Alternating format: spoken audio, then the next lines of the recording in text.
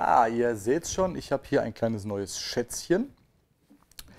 Ähm, ja, ich habe einfach mal Bock auf was Neues gehabt und da ähm, ich eigentlich mal meine Grossmann-Box testen wollte mit einer Amp-Verzerrung, die nicht Fender-mäßig ist, wollte ich gerne mal was Neues testen und ähm, da man nicht mal eben einen Diesel kauft, tut es halt auch vielleicht einfach mal ein Bugera. Habe ich gedacht, ich wollte ihn einfach mal testen und habe ihn deswegen bestellt.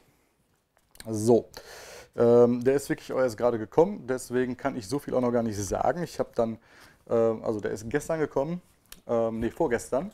Dann hatte ich auch keine Zeit mehr. Dann habe ich gestern habe ich die Reamping-Sachen eingespielt ähm, für die anderen Pedale und dann dachte ich, komm, machst du den direkt mal mit. Und äh, das machen wir jetzt auch heute. Gut, ähm, ja, wie gesagt, Reamping zeige ich euch gleich noch. Da werdet ihr das Ding auch aus der Nähe sehen können und ähm, ähm, das ist dann äh, schöner für euch, das zu sehen, ne? weil das Ding dürfte jetzt ein bisschen weit weg sein von eurem Bildschirm aus gesehen. Ich zeige euch jetzt erstmal, was wir so haben. Also, das Teil. Einmal Power, Standby, sollte klar sein. Den ähm, immer die Röhren so eine Minute, anderthalb Minuten, zwei Minuten vorglühen lassen, bevor ihr den Standby-Schalter nach oben haut. Dann sollen die Röhren länger leben. Dann haben wir ähm, eine Master-Sektion, Master Reverb und Master ähm, Level, ne, also für eure Endstufe. Dann haben wir einen Dreiband-EQ mit einem Morph-Schalter. Das kennt man von Blackstar. Ich nehme an, es soll auch ein Blackstar HT irgendwas ähm, simulieren oder darstellen. Und äh, jetzt habe ich den 20 Watter von Blackstar, ist das ein 20 Watter? Weiß ich gar nicht. Äh, noch, nicht gehört. Ich habe also keinen Vergleich. Ähm, ich habe den jetzt einfach ins Blau hinein mal gekauft. Gut, also der Morph-Schalter hm, soll von 20, äh, von 20, Quatsch, von, ähm, von, von, von, von ähm, den, den Sound ändern von Brit, nee, von, von, was war das, von amerikanisch auf britisch. Also links rum amerikanisch, rechts rum britisch, wenn ich mich nicht irre. Ja, Morph-Regler variiert den Klangcharakter des Overdrive-Kanals stufenlos zwischen amerikanischer und britischer Stilistik. Gut. Also, wo ich ihn getestet habe jetzt die ganze Zeit, die ganze Zeit, einen Tag, ähm, hat er mir auf der Linksstellung am besten gefallen. Das wäre die äh, amerikanische Stellung, laut, also so wie ich das aus der, ähm, ähm, aus der Manual da lese. Ähm, auf der britischen, ihr werdet es im Reamping noch mal hören, ähm, da klingt er mir ein bisschen zu mumpfig. Aber da, gut, das muss auch Geschmackssache sein. So mag ich gerne einen, Brit einen britischen Sound. Marshall Sound, ich liebe Marshall Sound. Und so ein Mesa Boogie Sound bin ich eigentlich gar nicht so der Fan von. Ne? Ich mag den, es ist, ist, da, aber ich stehe halt wirklich auf so einen, so einen Marshall Sound auch. Aber gut, Linksdrehung gefällt mir hier besser. Der Dreiband-EQ ist bei dem Verstärker nur ausschließlich für den Overdrive-Kanal da. Ne, also mit dem Clean-Kanal hat der ähm, EQ hier nicht zu schaffen. Ganz normal Höhen, Mitten und Bässe. Wie, da, wie, die, wie die Regelwege sind, zeige ich euch gleich im Reamping auch noch. Dann haben wir Volume und Gain natürlich für den Overdrive-Kanal, einen Switch zum Kanal wechseln, also einmal hier per Knopfdruck auf den Verstärker.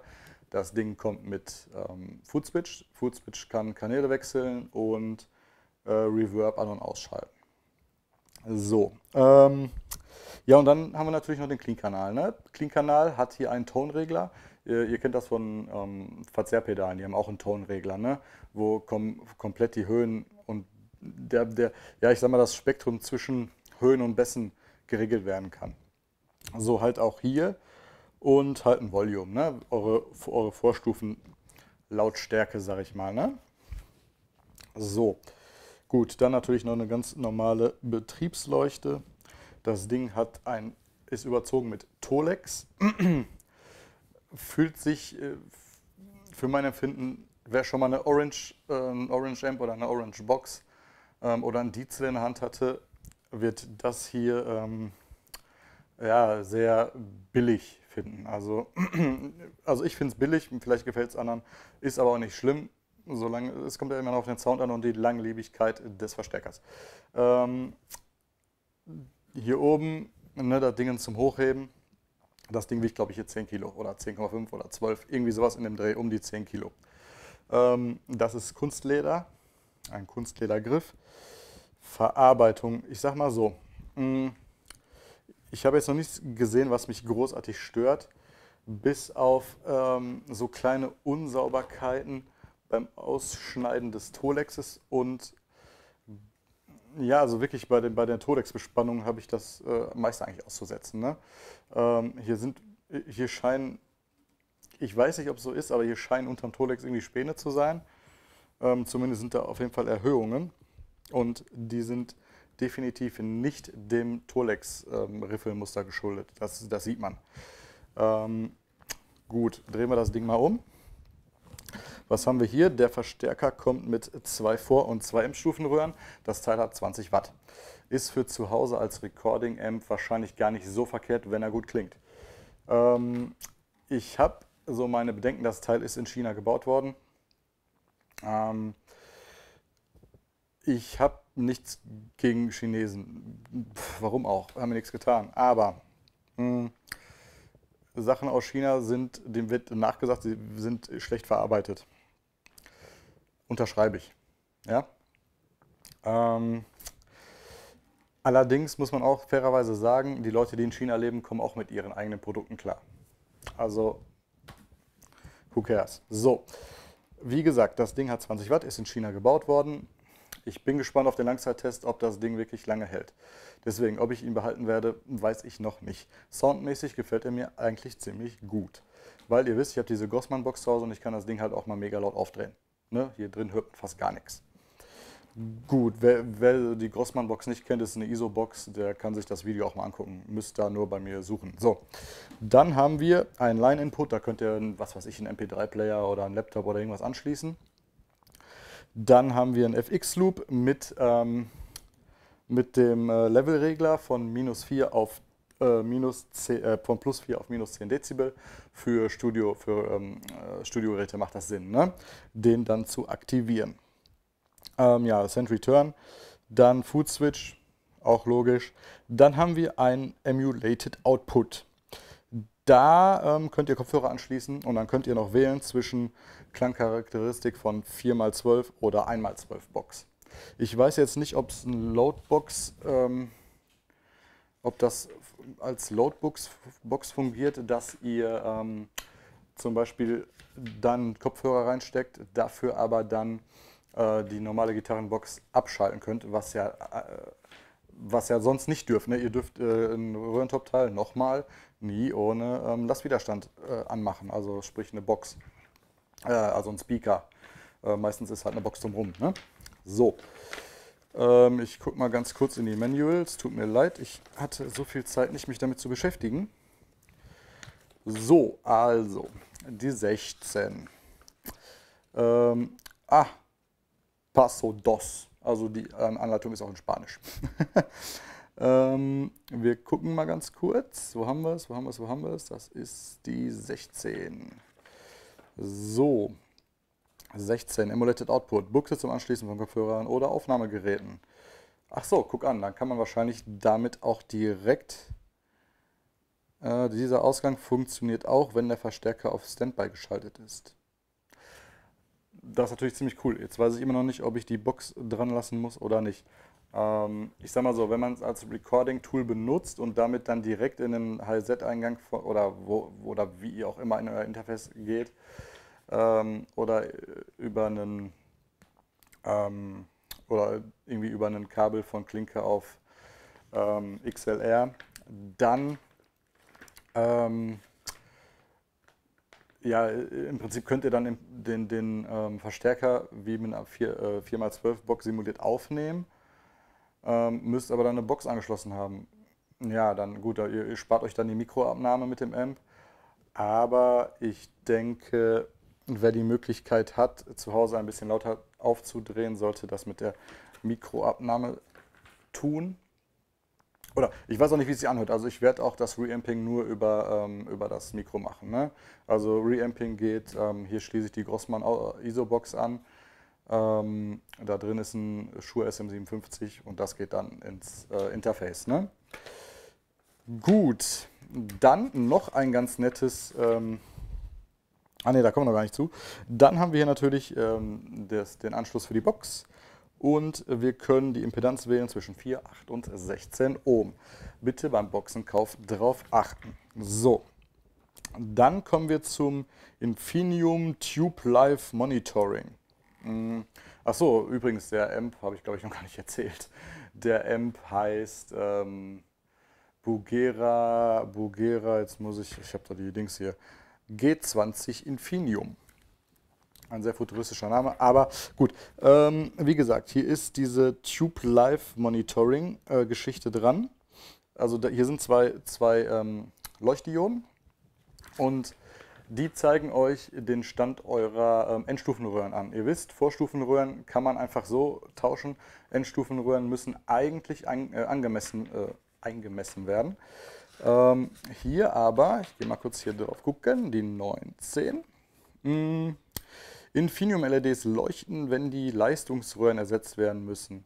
Die Endstufen, äh, Endstufensektion akzeptiert EL34 oder 6L6 Röhren und die werkseitigen ECC 83A Vorversteckerröhren können durch gleichwertige ersetzt werden.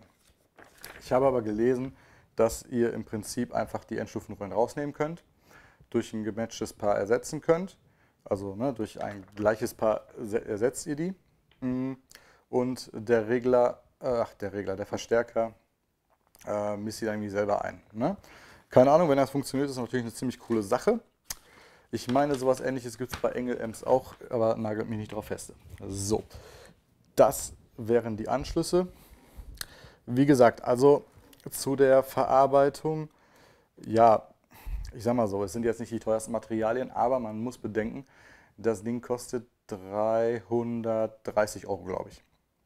So, ähm, ja, was will man für 330 Euro erwarten? Ne? Also eine Meisterleistung sicherlich nicht, habe ich gedacht. Jetzt hab, dann habe ich ihn angeschlossen und es hörte sich wirklich gut an. Also gefällt mir soundtechnisch zu Hause aufgerissen ziemlich gut. Für 20 Watt, ich kann sie hier wie gesagt voll aufreißen, ähm, der ISO-Box geschuldet. Ähm, wie es bei euch dann zu Hause klingt, weil ich habe momentan hier nur die ISO-Box und die strahlt nach oben ab und das ist alles anders, als wenn ihr es zu Hause macht ähm, mit einer normalen Box. Ich weiß natürlich nicht, wie es bei euch klingt. Ne? Aber für mich hier reicht es, hört sich ganz gut an. Ähm, wie gesagt, ich teste ihn jetzt erstmal zwei, drei Wochen. Und wenn er das, wenn, wenn er so bleibt, wie er ist, alles tut ihn. So. Normalerweise sagt man Lehrgeld zahlen, ja. Aber wenn er nach einem halben Jahr kaputt, wenn er nach einem Monat kaputt geht, okay, das wäre ärgerlich, ne? Oder nach zwei. Wenn er nach einem halben Jahr kaputt geht, wäre das genauso ärgerlich. Aber mein Gott, kann passieren, sowas passiert halt. Äh, würde es bei einem 3000 Euro Diesel passieren, wäre es noch ein bisschen ärgerlicher. Allerdings kann man dann zum Peter Diesel hingehen und sagen, guck mal bitte.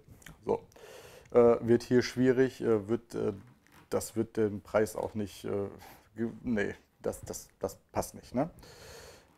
Ähm, gut, also optisch finde ich ihn ziemlich cool. Was diese komische silberne Rolle hier drin soll, äh, weiß ich jetzt nicht. Ihr werdet da gleich auf der Aufnahme noch sehen. Äh, geht so, ne? Aber sonst optisch ein schickes Teil. Ich denke, das Blackstar Pendant, ich habe es jetzt nicht im Kopf, wird wahrscheinlich 1, 2, 300 Euro mehr kosten. Mm. Und ist bestimmt auch nicht äh, in England oder Amerika gefertigt. Gut, also 330 Euro kann man mal ausgeben, um sowas zu testen. Und wenn es sich dann noch gut anhört, kann man es auch spielen. So, wir gehen jetzt ins Reamping. Ich habe genug gelabert. Hört euch den Spaß einfach mal an. Ich sage bis gleich.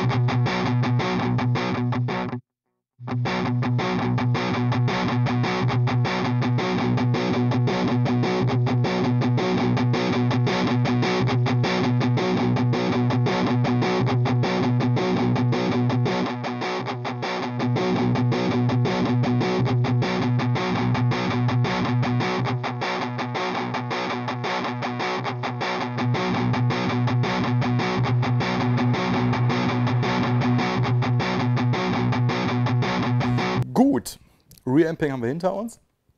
Ähm, ihr werdet ein paar Eindrücke äh, mitgenommen haben. Äh, ich finde, die Regler funktionieren alle super gut. Also Volume tut das, was Volume machen soll. Master tut das, was er tun soll. Reverb, den finde ich scheiße, um es mal auf den Punkt zu bringen. Ähm, den, ähm, den Dreiband-EQ, wie gesagt, Bässe, Mitten, Höhen regelt das Ding super. Bei den, bei den Mitten, ähm, da finde ich es ein bisschen wenig, aber mein Gott, ähm, er, er macht es trotzdem.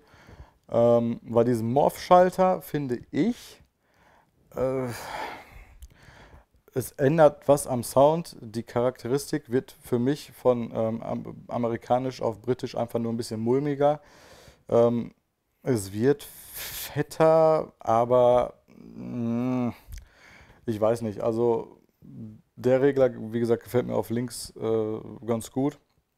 Ich glaube, die schreiben da, dass man den auf 12 Uhr stellen soll, hat man einen sehr neutralen Ton. Aber was ist denn neutral, wenn man links, Brit äh, links amerikanisch und rechts britisch hat? Was ist denn da neutral?